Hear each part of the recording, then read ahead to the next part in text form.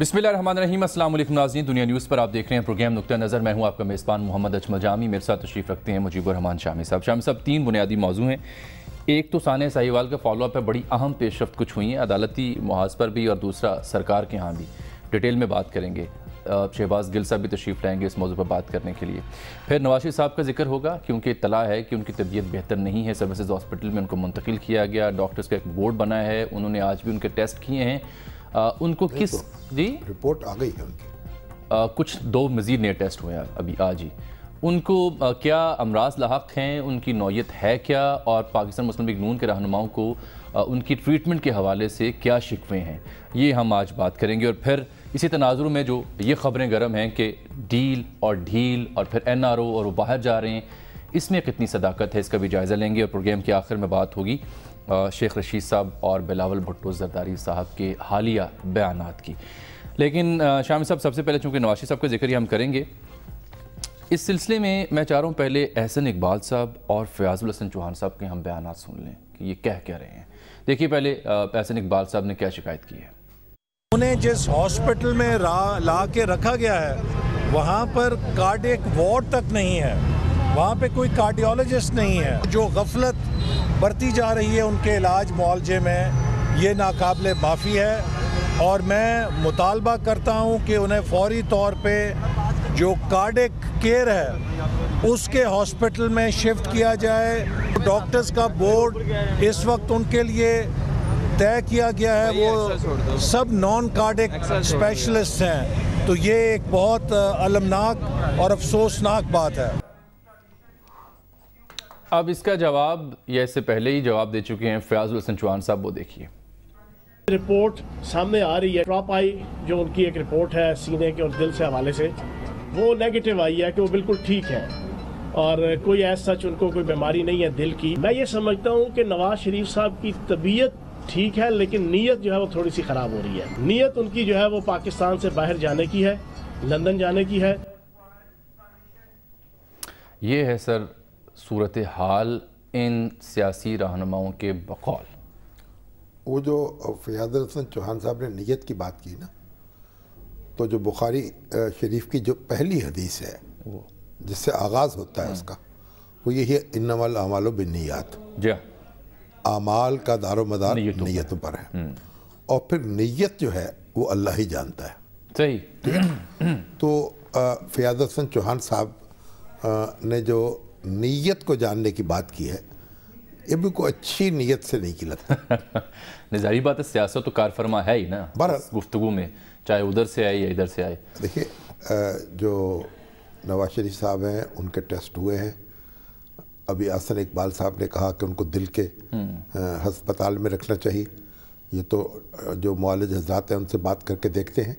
लेकिन बात यह है कि जो जो दिल का अस्पताल होता है जैसे पीआईसी है वो सिर्फ़ दिल के मामला को देख सकता है। यहाँ तो ये भी इतला है कि उनके गुर्दे में पथरी है। किडनी हाँ। है नेफ्रोलॉजिस्ट भी यहाँ हैं और दूसरे जो डॉक्टर हैं शोबों के हाँ उनके एक्सपर्ट्स और फिर एक बोर्ड है ना जी। जो एक्सपर्ट्स का ऑलरेडी बोर्ड है जो उनको देख कर ये दुरुस्त है।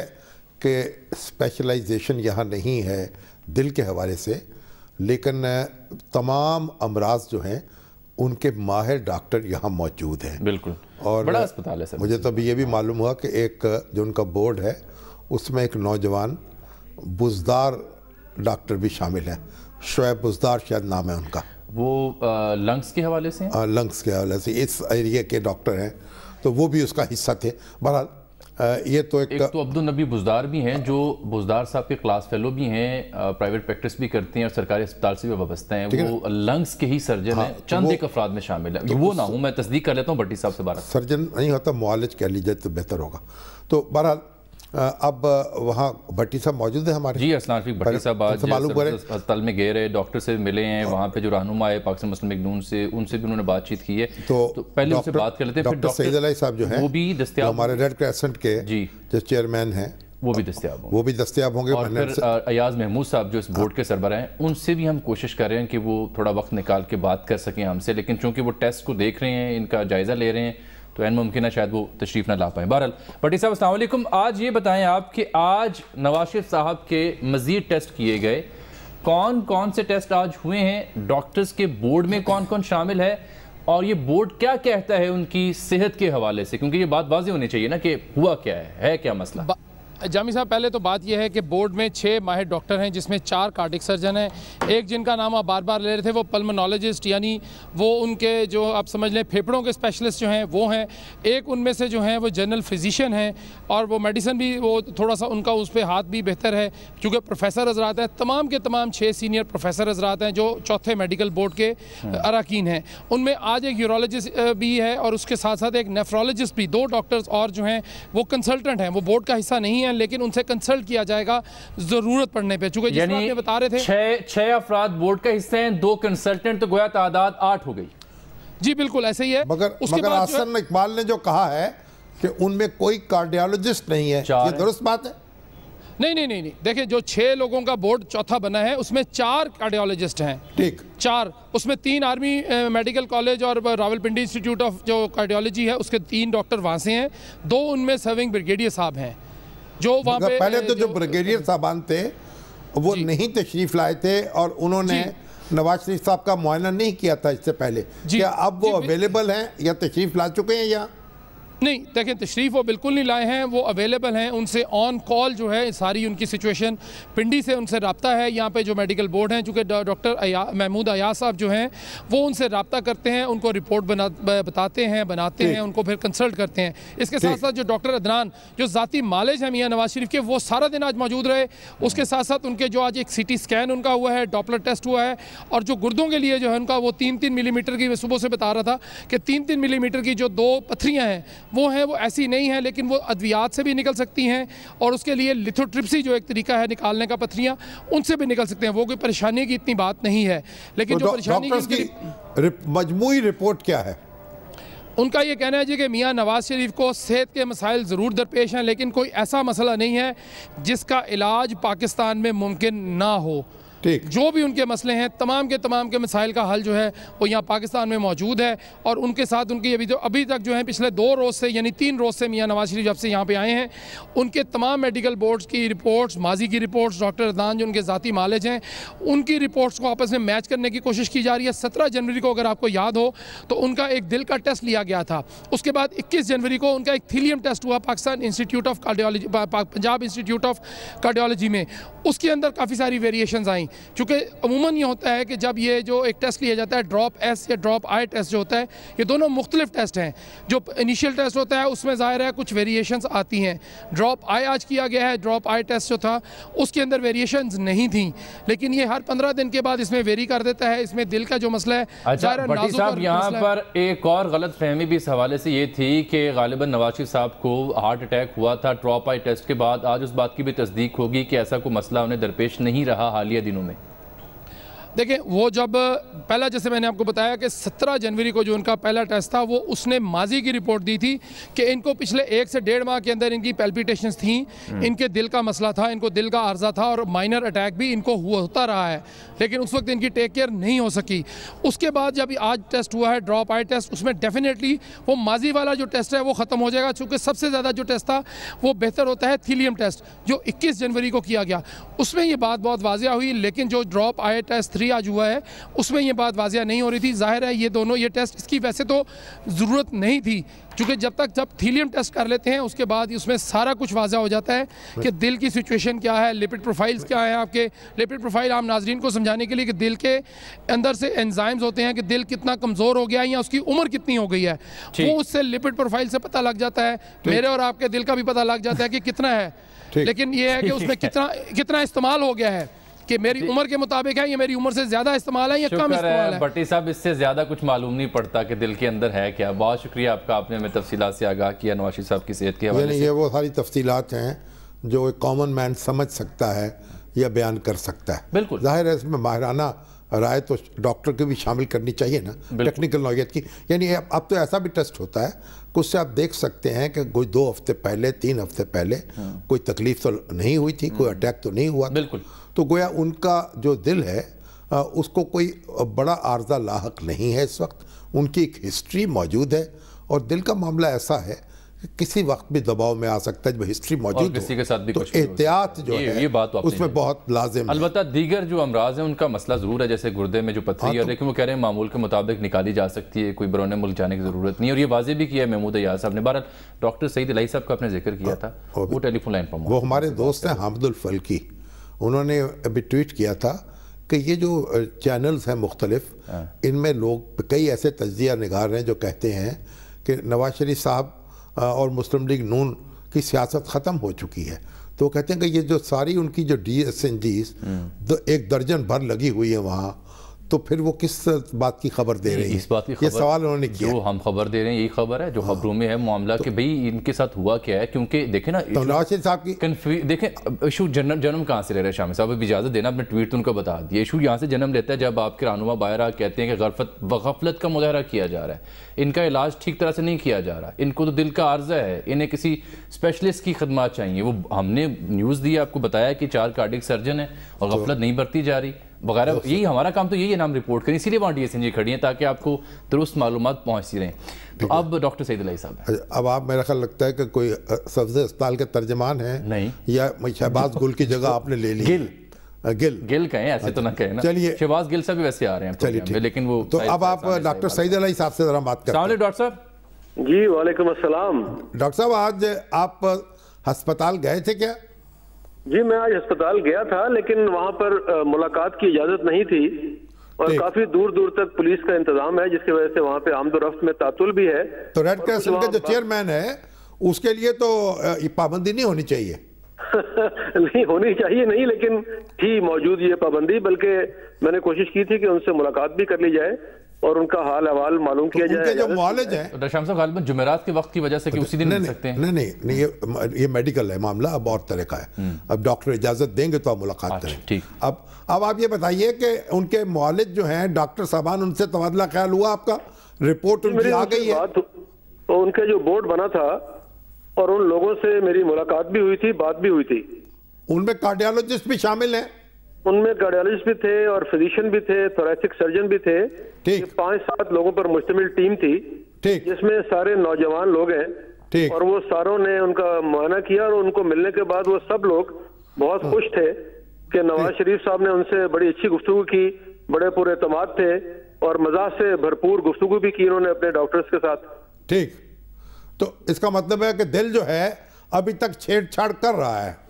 सर उनका दिल और आसाब दोनों बहुत मज़बूत हैं।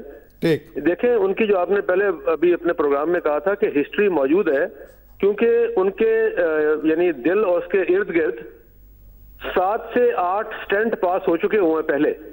ठीक। और दो दफ़ा उनकी ओपन हार्ट सर्जरी हुई है। तो ये गैर मामूली केस है और हाई रिस्क फैक्टर है ये। यानी जहाँ पे सात स्टंट दिल में मौजूद हो 2003 में पहला स्टंट पड़ा था।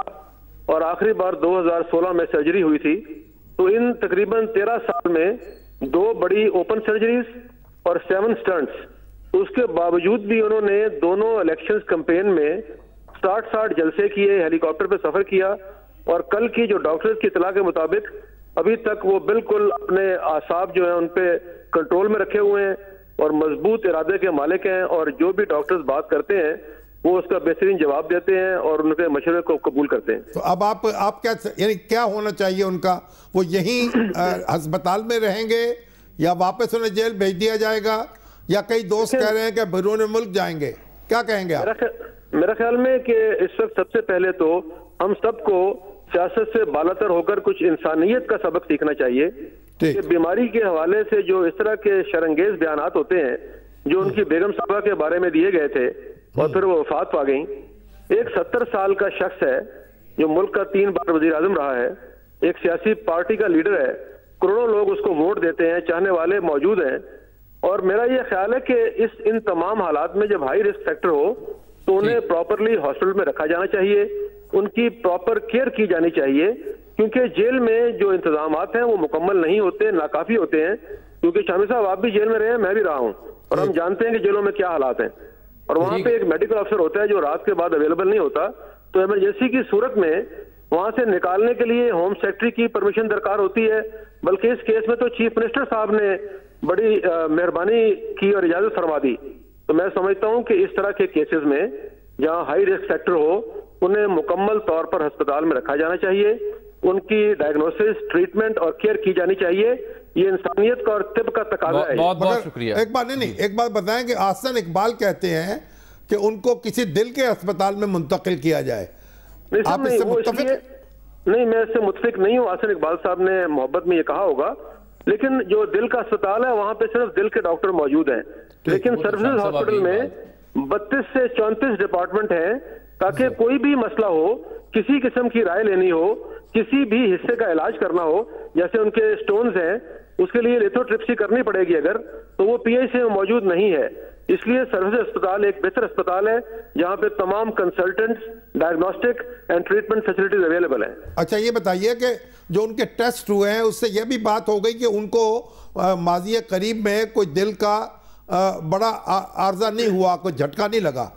ये आपने अभी कहा था ना ट्रॉप आई टेस्ट जो हुआ है जिसमें बताया जाता है कि 24 घंटे में कोई स्कीमिया हुआ या नहीं हुआ एक हफ़्ते में हुआ या नहीं हुआ उनके जो मुख्तलिफ़ टेस्ट हुए हैं उसमें क्योंकि रिकॉर्ड एक महीने का तो आ गया। लेकिन जो बताया जा रहा है कि अडयाला जेल में उनको थोड़ा बहुत स्कीमिया हुआ था जिसके नतीजे में उन्हें पिम्स में शिफ्ट किया गया था जिसपे वो जाने पे तैयार नहीं थे लेकिन वहाँ ले जाया गया उनको वहाँ तीन दिन रखा गया। तो कार्डियक पेशेंट इस हालत में और इस उम्र में हालाँकि अल्लाह ने उनको बहुत अच्छी सेहत से नवाजा है लेकिन फिर भी मैं समझता हूँ कि इस इस तरह के पेशेंट्स की राउंड द क्लॉक केयर करना बहुत ज़रूरी है। ठीक है। बहुत शुक्रिया डॉक्टर साहब आपके वक्त का। अब शाम साहब देखें ना अब ये ऐसे नहीं बार साहब तो शिकवा बनेगा ना कि उन्होंने जो बयान दिया उन्होंने अपनी बात कह दी। एक उन्होंने कहा कि कार्डिक स्पेशलिस्ट नहीं है उनका गफलत बढ़ती जा रही है। यहाँ डॉक्टर साहब कह रहे हैं कि यहाँ पर स्पेशलाइज लोग मौजूद हैं बोर्ड बना है तमाम फैसिलिटीज़ मौजूद हैं। बज़ाहिर सईद अलाई साहब अभी तक के प्रोसेस से मुतमिन नज़र आ रहे हैं। ठीक है। तो फिर ये आप खुद ही तो फैलाते हैं ऐसी बातें और खुद ही शिकायत करते हैं मीडिया क्यों खड़ा है? नहीं हमने हमदुल फल्की साहब ने कहा ये कहते रहे आसन इकबाल ने नहीं कहा। नहीं, ये उसी से जुड़ी बात इतना, गुस्सा आप करने की ज़रूरत नहीं आपको। लेकिन साहब इस इस सर्विसेज़ हॉस्पिटल में जो दस्तियाब सहूलियात हैं उससे मुतमिन है। नहीं, नहीं। बोर्ड से मुतमिन है। डॉक्टर से बात करके आए हैं और कह रहे हैं यहाँ फैसिलिटीज़ हमने कोई फतवा नहीं देना हमने इन्फॉर्मेशन देनी है लोगों को। तो वो लोगों के पास पहुँच गई। बस ठीक है, एक एक ब्रेक मैं अब यहाँ पर ले रहा हूँ। ब्रेक के बाद इसी मामले को थोड़ा मैं आगे बढ़ाऊँगा क्योंकि बात ये हो रही थी कि शायद वो बरौने मुल्क जाना चाह रहे हैं तो ये मामला किस हद तक दुरुस्त है एक ब्रेक के बाद?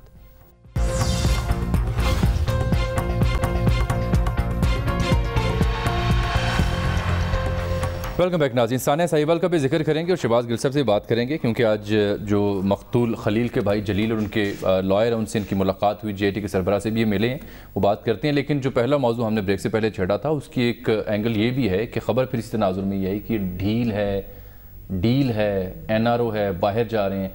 शेख साहब ने अपने बयान पर एक और टीवी चैनल में बात करते हुए कहा कि मुझे इमरान खान साहब का मैसेज आया था, जिसका मफहूम ये था कि कुछ ऐसा नहीं होने जा रहा। तो शेख साहब की बात की उन्होंने खुद ही वजाहत मजीद भी कर दी। लेकिन सर, इस्लामाबाद में जिस दोस्त को भी फ़ोन करें, वो कहते हैं खबर गर्म है। और यहाँ लाहौर में भी आज पिछली दौरे हुकूमत में एक बड़े अहम वज़ीर के मनसब फायज रहने वाले साहब आज हमें मिले, मुझे भी और आपको भी। तो उन्होंने भी इकरार ही किया है कि हाँ कुछ ऐसा है। चलो जो भी खबरें उड़ा रहे हैं हुकूमत के असाब पर तो सवार है ना? तो ये तो हुकूमत जाने अपोजिशन हुकूमत को चुटकियाँ ले रहे हैं। बल्कि अभी मुझे अब कल कई लोगों का तो कहना यह है कि हुकूमत को तो पता ही नहीं चल रहा कि क्या हो गया। अच्छा ये भी हो सकता होगा अब असल में एक और खबर सुन लेना साथ आप मुझे आप अगर इजाज़त दे रही हैं। आप एक खबर मुझे ये मिली है कि 18 फरवरी से 26 फरवरी के दरमियान बैरून मुल्क वो जा सकते हैं इलाज की गरज। देखिए पहली बात तो यह है कि अभी तक ऐसा कोई इशारा उनसे नहीं मिला कि वो जाना चाहते हैं बैरून मुल्क। उनसे तो नहीं मिल रहा। वो तो उनके जो मिल के लोग आए हैं उनको और इसमें यानी चंद रोज़ पहले तो मैं भी मुला मिला था उनसे आप भी मिले थे। और, हमारे अभी अकरम साहब भी यहाँ इकट्ठे मिले थे। जी जी। और वो अपने पूछ यानी पूरे हवास उनके जो थे माशाल्लाह और असाब जो थे मज़बूत नज़र आए। और वो गुफ्तगु उनसे बड़ी नॉर्मल हुई। तो इसलिए पहली बात तो इस वक्त तो वो जेल में है। पहला मामला तो यह है कि उनकी रहाई होगी। उनकी तो दरख्वास्त जो जमानत है ना अभी वो बाद। वो वो इस्लामाबाद हाई कोर्ट में है। तो उनकी पहले जमानत की दरख्वास्त मंजूर हो। तिबी बुनियादों पर सजा मुतलिक दरख्वास्त है ना उसमें इस्लामाबाद हाई कोर्ट ने रिपोर्ट मंगवा ली है मेडिकल दुरुस्त है। जमानत जो है पहले उनकी हो रहा हो फिर वो फिर ईसीएल पे भी उनका नाम डाला हुआ है। फिर वो ईसीएल से फिर उसको जाने की ज़रूरत हो। तो बड़े मराहल हैं इसमें। मैंने तो इस बात को इसलिए ज़्यादा संजीदगी से लिया शामी साहब ठीक फरमा रहे हैं कि वो जो सबका हुकूमत के काहम वज़ीर आज मुझे और आपको कानून में बता रहे थे कि हाँ कुछ ऐसा ही हो। आठ दस माह के लिए वो जा रहे हैं नहीं, नहीं। और इसी महीने जा सकते हैं। तो मैं इसलिए संजीदा हूँ इसलिए मौजूद में ये सारा जारी जो खबरें उड़ रही है ना जो मौजूदा हुकूमत की ज़रा चुटकियाँ लेना चाहते हैं तो वो सारी खबरें ये उन फैलाते भी हैं, हैं वो भी शरीक है इसमें वो समझते हैं कि भाई ये बेचारी हुकूमत जो है इससे बाला ही बाला कुछ हो जाना है। अच्छा ऐसा तो है नहीं ठीक है ना? शेख साहब के बकौल तो खान साहब ने कहा नो वे। नहीं उनको उनको मालूम ही नहीं होना। चल देखते अब अगर किसी की अदालत से जमानत हो गई चले अदालत से बाहर चले गए। गुजारिश है ना कि 16-17 फरवरी से ऑनवर्ड तो अगला जो हफ़्ता है ना तो बड़ा अहम होगा। इतनी ये जो असल में अब हमारे यहाँ जो ये तजिया निगारी और तजिया कारी है वो कोई नजूमियों का पेशा हो गया। तो बहरहाल ठीक है। अच्छा शहबाज गिल साहब आ गए हैं। अच्छा, अब आप उनसे ये- बात करनी बड़ी ज़रूरी है। हमारे मिर्ज़ा इम्तियाज़ साहब हैं वो कनाडा में होते हैं। क्या कह रहे हैं? वो कहते हैं ये जो हादसा हुआ है ये सानिया हुआ है साहिवाल का। साहिवाल का हाँ। इस पे ताहिरुल कादरी साहब का कोई बयान नहीं आया। कोई रद्द अमल नहीं है। उनकी जमात की जानब से कादरी साहब क्यों खामोश है? उनका भी है। उन्होंने भी इजहार हमदर्दी की और जल्द मतलब रस्मी सी बात है कोई गर्जे नहीं है। चमके नहीं गरजना गरजना बरसे नहीं। गरजना बरसना तो काफ़ी अरसे से उन्होंने छोड़ दिया है बहरहाल ये अब एक खब, ऐसा क्योंकि सवाल है। अब नूरुल्लाह सिद्दीकी जाने और तो आप जाने आते रहते हैं मैसेज मैंने कहा कि मुझे कोई मेरी नोटिस में नहीं आया कि कोई ऐसा कोई शदीद एहतजाज हुआ। ठीक अच्छा अब शहबाज गिल साहब तशरीफ़ ला चुके हैं उनसे हम बात करना चाहेंगे। अस्सलाम वालेकुम शहबाज साहब बहुत शुक्रिया आपके वक्त का सर। देखिए, आज मैंने देखा कि आप मौजूद थे, खलील के भाई जलील मौजूद थे, उनके वकील बरिस्टर एहतशाम अमीरुद्दीन थे और उनके अहल खाना वहाँ मौजूद थे। आपने उनकी मुलाकात कराई सरबरा जे से भी। लेकिन मेरा आपसे सवाल ये है कि खलील के भाई जलील को तो बुला लिया, उनके वकील को भी बुला लिया। ये आपने जिशान और उसकी वालदा और उसके भाई को क्यों साइडलाइन कर दिया इस इशू में गिल साहब? जी, बहुत शुक्रिया जामी साहब और सलाम अर्ज़ शामी साहब। वालेकुम अस्सलाम। सर बात यह है कि आपको जैसा कि पता है पहले से कि जो सीआईटी है और सीटीटी है उन्होंने कुछ वक्त मांगा हुआ है उस केस के लिए। और इस केस में भी आपको पता है कि जीआईटी अपनी कार्रवाई कर रही है उसमें सीटीटी कर रही है। तो जैसे ही उसके भी हमारे पास रिज़ल्ट आते हैं वो भी हमारी माँ है। अ, हम उनके साथ भी मिलेंगे के साथ भी बात करेंगे क्योंकि दोनों केसेस का ड्यू टू इट्स जो इसकी इन्वेस्टिगेशन हो रही है, उसमें दोनों केसेस दोनों फैमिलीज़ भी, उनका डिफरेंट परसू करने का तरीका है और दोनों केसेस में भी थोड़ा सा डिफरेंस है एट दिस पॉइंट आगे क्या होता है? जैसे जैसे इन्वेस्टिगेशन आती है, वो आपसे इंशाल्लाह शेयर करेंगे। जैसे ही हमारे पास उस केस के बारे में भी इंफॉर्मेशन आती है, उनकी भी फैमिली को मिलेंगे, उनसे भी बात करेंगे और आपके साथ शेयर करेंगे इंशाल्लाह। अच्छा डॉक्टर साहब ये बताइए कि खबर आई थी कि वज़ी अजम इमरान खान ने कहा है कि, जो वज़ी अला साहब हैं, वो उन फैमिली के लोगों से मिलें। तो बताइए कि वज़ी अल्लाह ने क्यों जहमत गवारा नहीं की? इतना बड़ा हादसा हो गया, इतने लोग मर गए उस फैमिली के, और उन, और दिन दिहाड़े।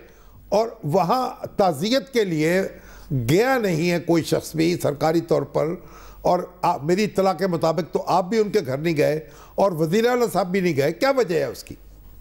जी, शामी साहब, उसमें किसी ने, किसी दुश्मन ने आपको अच्छी इतला नहीं दी। पहले तो वज़ीर अला साहब अस्पताल गए थे, उसके बाद मैं खुद उनके घर गया था और मेरा मुसलसल रबता है फैमिली के साथ और वज़ीर अला साहब के बिहाफ पे आज भी उनकी फैमिली ने मेरे साथ वक्त गुजारा है क्योंकि वज़ीर अला साहब आज किसी इंपॉर्टेंट मीटिंग के लिए वो इस्लामाबाद में होना पहले से स्केड्यूल था उनका।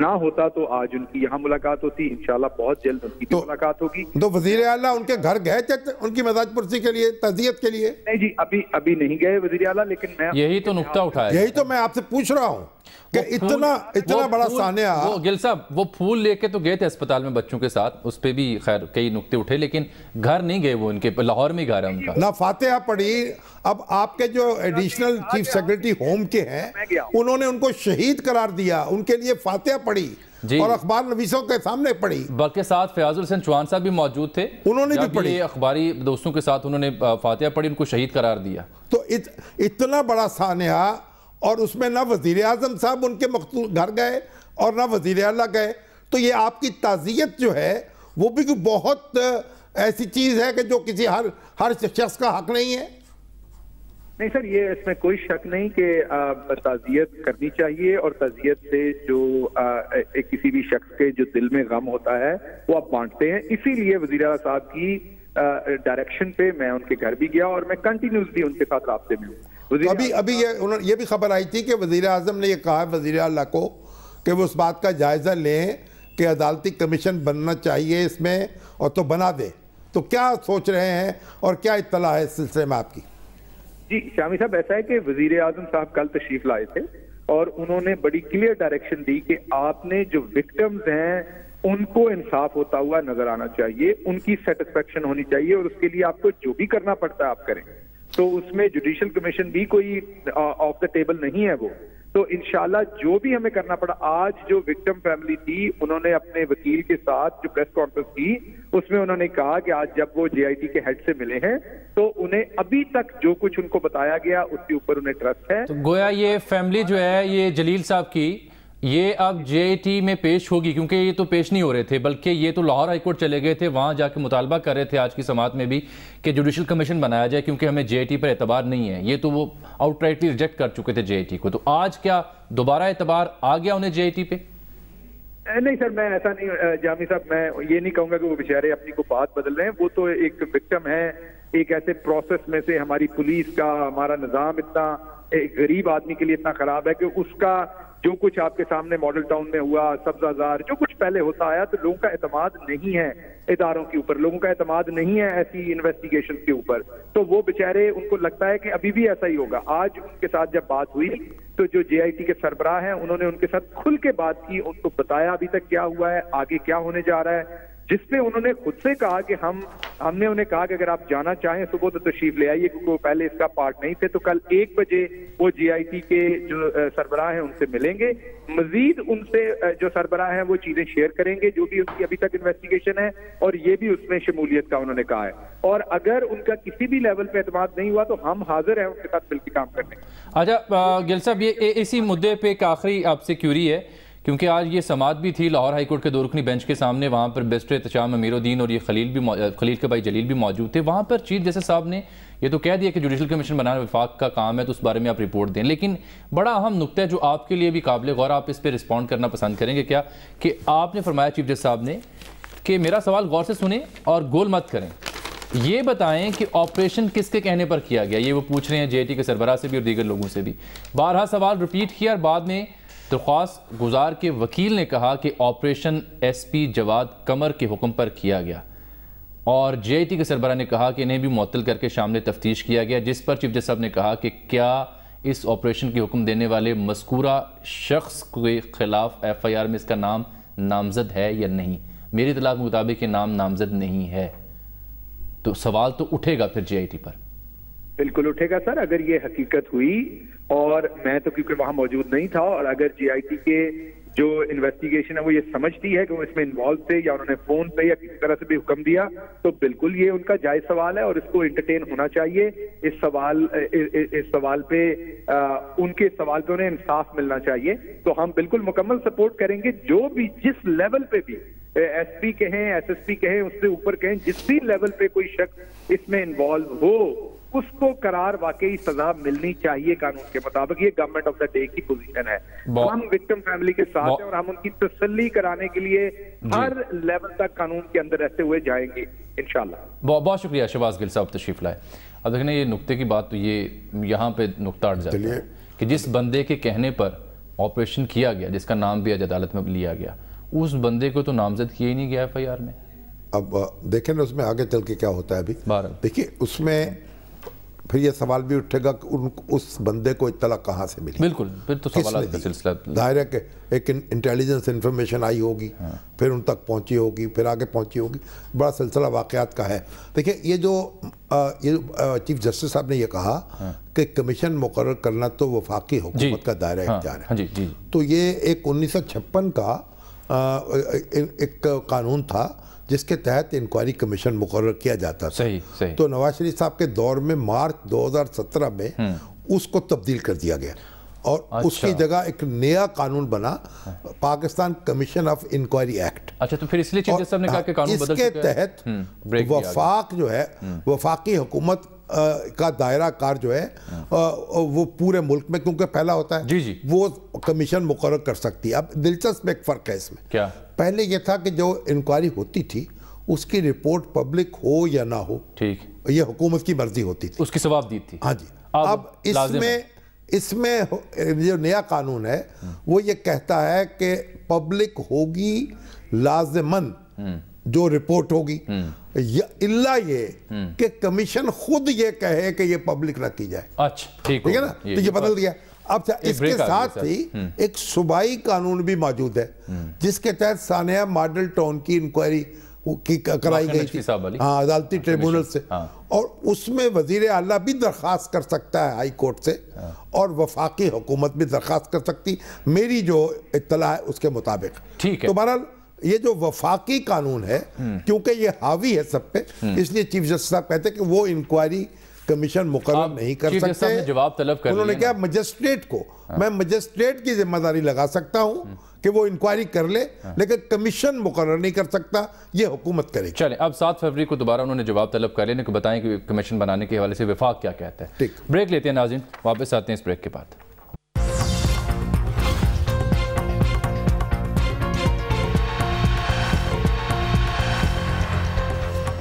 वेलकम बैक नाजिन शम साहब वक्त कम है तीन चार मौजूद रह गया हम। अच्छा एक छोटी सी ताज़ियत करनी। डॉक्टर मौलाना असलम सिद्दीकी जो पंजाब यूनिवर्सिटी के ख़तीब थे और मैं वो इनका इंतकाल हो गया। है कल सुबह उनका जनाजा होगा।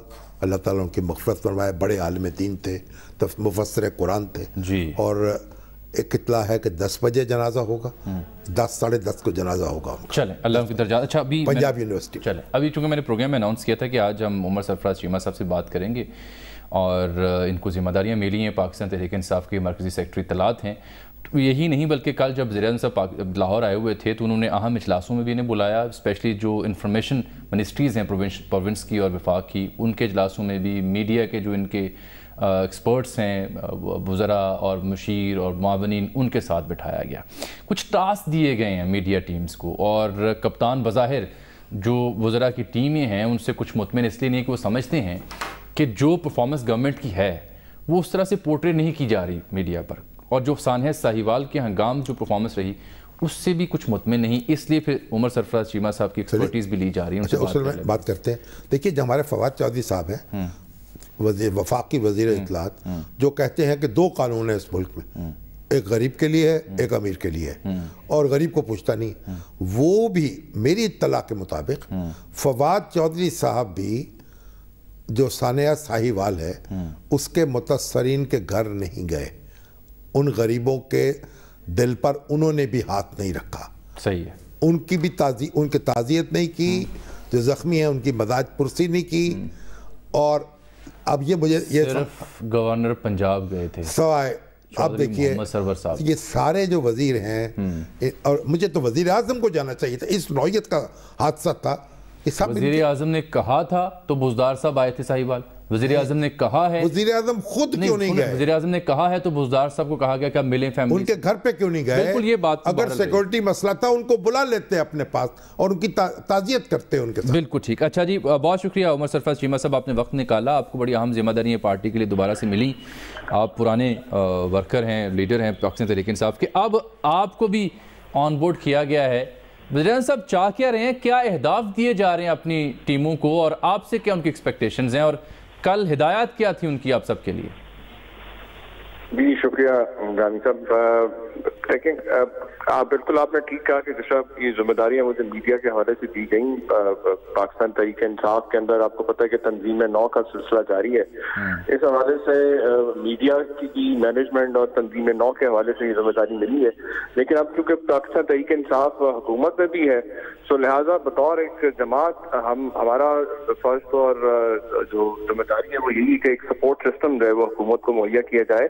क्योंकि पिछले छह महीनों में आपको पता है कि जो मुख्तलिफ़ वजूहत की बुना पे जो मैं समझता हूँ कि रोज़ाना टी वी के ऊपर जिस तरीके से मौका पेश किया जाना चाहिए था मौसर अंदाज में उस हवाले से भी जो है कुछ मामला को देखा गया गया है ताकि हम बेहतर तौर पे जो हुकूमत की कारकर्दगी है पिछले पाँच छः महीने में, उसको आवाम तक पहुँचा सकें। क्योंकि आपके सामने कि वो लोग जो तबाह हाल मीशत और तबाहशुदा इदारे छोड़ के गए वो बजाय इसके कि अपने किए पे शर्मिंदा हो वो रोज टीवी बैठ के सिर्फ़ अवाम में मायूसी फैलाने पे लगे होते हैं।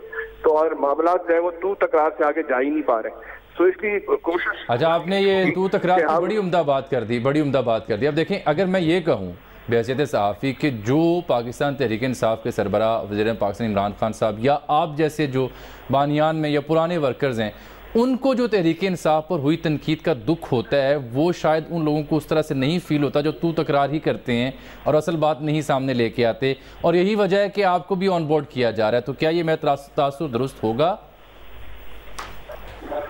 देखिए, जानी साहब, जैसे मैंने आपसे अर्ज़ किया कि देखिए, जो मुख्तलिफ़ मामला हैं मैनेजमेंट के हवाले से हमारा हुकूमत का, पार्टी का मौका जो है वो बेहतर तौर पर आवाम के सामने पेश करने के हवाले से जो मामला है, उसी के हवाले जो स्ट्रेटेजी बनाई गई कि इन जो भी मुश्किल या तहफात है, अगर हैं किसी के तो उनको भी दूर किया जाए। भी पिछले दिनों में जो है मुख्तलिफ़ मीडिया के लोगों से भी मुलाकात हुई प्राइम मिनिस्टर ने भी खुद भी मुलाकात की। और वो खुद भी जाती तौर पर इस पर दिलचस्पी ले रहे हैं कि क्योंकि मैं आपको भी पता है कि आप लोगों के साथ आप लोगों की सपोर्ट से हमने तेईस साल की जो जद्दोजहद है तब्दीली की। इसके अंदर पाकिस्तान का मीडिया का बड़ा एक अहम किरदार रहा है कि तरीके इंसाफ का पैगाम लोगों तक पहुँचाने में।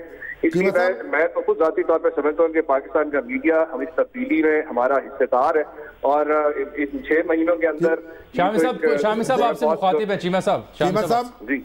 ये जो मीडिया की जो दुर्गत बन रही है, वो तो अपनी जगह है। इलेक्ट्रॉनिक मीडिया हो, प्रिंट मीडिया हो, सारे ही खल रहे हैं और इनका गला घोंटने, यानी ये तासर यह है कि गला घोंटा जा रहा है और यानी बेरोज़गारी फैल रही है लोग कारकुन छांटियाँ हो रही हैं। मगर एक बात आप मेरी मान लें कि कोई ऐसी मीठी गोलियाँ कहीं से लाएँ जो अपने वजीरों को खिलाएँ ताकि थोड़ी मीठे मीठे बोल तो बोलने लग पड़े, बाकी तो गुड़ ना दे गुड़ जैसी बात तो कुछ कर ले। शामी साहब मैं आप बिल्कुल आपकी बात का एहतराम करता हूँ। लेकिन गुजारिश ये है कि हम जो 22 तेईस साल जो हम बाहर बैठ के मामला को देख रहे थे और हम जो बार बार कहते रहे कि हालात बहुत तबाहकुन है वो आप यकीन करेंगे जब हुकूमत में आने के बाद जो अंदाज़ा हुआ है कि हालात उससे कहीं ज़्यादा जो है बदतर है मगर मीठे मीठे बोल बोलने से किसने मना कर दिया? ऐसे में आप बिल्कुल ठीक कह रहे हैं कि रवैयों में तब्दीली आनी चाहिए हुकूमत में आके रवैयों में तब्दीली आनी चाहिए। ठीक है। आप भी तो उसकी एक मिसाल है ना आपसे भी तो बात हो ही रही है आपको भी तो लोग सुन ही रहे हैं। बहरहाल बहुत शुक्रिया जी बहुत शुक्रिया आपके वक्त का। तो ये जी आ, कुछ अन के ही अंदाज में काफ़ी बातें मेरखल हो गई हैं यहाँ। हाँ। इतना ही इजाज़त देता है हमारे प्रोग्राम का फॉर्मेट और आपकी हिदायतनामा। अच्छा मैं शेख रशीद साहब और बिलावल भुट्टो जरदारी का ज़िक्र करना चाह रहा हूँ इजाज़त दें देखें जी ये कि शेख साहब ने क्या फरमाया और बिलावल भुट्टो जरदारी साहब ने क्या फरमाया? हम कब शादी करें? हम क्या एक शादी करें? ये चार सूबे हैं तो हर सूबे से एक बीवी होना चाहिए। ये मुँह और मैसूर की दाल मुल्क के हाल पे रहम करे। बिलावल जरदारी ना बने बिलावल भुट्टो बने और अगर वो बिलावल जरदारी बनेगा बिलो रानी का कोई सियासी मुस्तकबिल नहीं है। सबसे बड़ा गटर पाकिस्तान का जो है उसका नाम है आसफ जरदारी। जब भी शेख साहब का ज़िक्र होगा अब के बाद हम कहेंगे पिंडी का शैतान है इंसान है। बिल्लो रानी को कहा कि माफ़ी मांग ले इसी में तेरा फ़ायदा है। और पथरी से पथरी का लंदन में इलाज ज़रूरी नहीं है। लाल हवेली में भी दम होता है। और जब लाल हवेली में दम होता है तो पथरी निकल जाती है। और पथरी के लिए लंदन जाने की गुंजाइश नहीं है। अच्छा मोहतरमा शमा जुनेद जो लिखती भी हैं लंदन में मुकीम है उनके एक ट्वीट के जवाब में बिलावल साहब ने कहा कि हाँ गलती शायद हो उन्होंने उन्होंने गलती का इतराफ़ किया है। उन्होंने कहा मुझे ये बात नहीं, नहीं कहनी चाहिए हाँ मेरी ट्रेनिंग नहीं ये एक अच्छी बात है लेकिन शेख साहब इससे मुतमिन नहीं है। वो कहते हैं बाकायदा माफ़ी मांगी जाए। नहीं देखें अगर बात मीडिया के सामने प्रेस कॉन्फ्रेंस में माइक के सामने कही गई है तो फिर तो ये तो माइक के सामने नहीं कही गई ये जो ट्वीट किया गया। ट्वीट तो फिर ये, और नहीं ये तो लगता है असल में देखिए मेरा तो ख्याल है कि मीडिया को ये फैसला करना चाहिए कि, कि जो लोग इतनी बदजुबानी का मुजाहरा करें हाँ। उन पर कोई हफ़्ते भर के लिए तो कम अज कम पाबंदी लगाए। प्रोग्राम का पाबंदी हमारी भी तो कोई ज़िम्मेदारी अच्छा, हम चस्के लेते हैं और आगे नशर करते हैं उनके बिल्कुल क्या करें? उनकी गालियाँ जो है। अब हमने तो बीप लगा दी थी। आपने देखा हमारे तो प्रोड्यूसर ने बीप लगाई उस लफ्ज पहले लगी हुई नहीं हमने लगाई सबने लगाई है। हमने हम तो इसकी बानी है इस काम तो के। हाँ नहीं नहीं कोई अच्छा बहर बार आप नशरी नहीं करने देते ऐसी कोई बात? मुझे ऐसी कोई बात नहीं है। अच्छा चलें प्रोग्राम वक्त खत्म हो गया। अहमद पुशर के अब्दुल रजाक साहब की कॉल थी कल लेंगे। इजाज़त दें। कल कर लेंगे।